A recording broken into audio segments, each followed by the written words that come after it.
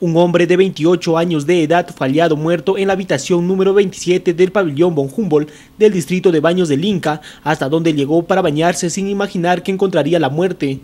Simplemente el nombre del señor es David Osoro González de Nacionalidad Española, 28 años. Eh, ¿Ya se, se, sabe más o menos algún tipo de indicio de cuál habría sido la causa? No, no, no puedo arriesgarme a decir eso. ¿En qué posición lo encontró? Cóbito ventral. El hallazgo fue hecho por parte del personal de limpieza, quien dio parte a los efectivos de la comisaría de Baños del Inca, quien de inmediato se constituyó al lugar comprobando que el cuerpo yacía de cúbito ventral, a donde ingresó a las 11 de la mañana. Este no, a medio de las 11 de la mañana. Por supuesto, se dio la necropsia de ley y se aperturó la investigación correspondiente. Pasadas las 3 de la tarde llegó el fiscal Waldo León Cabanillas, quien acompañado por los peritos de la Divincri realizaron el levantamiento del cadáver que fue conducido a la morgue central para la necropsia de ley.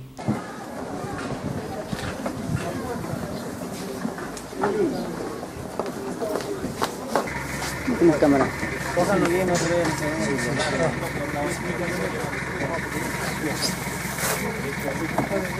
El hombre de nacionalidad española fue identificado como David Osoro González, quien al parecer padecía de epilepsia. Sin embargo, los peritos han iniciado su trabajo para dar con las verdaderas causas de este deceso. Pues se dio la necropsia de ley y se aperturó la investigación correspondiente. ¿Es de nacionalidad española? Es española, sí.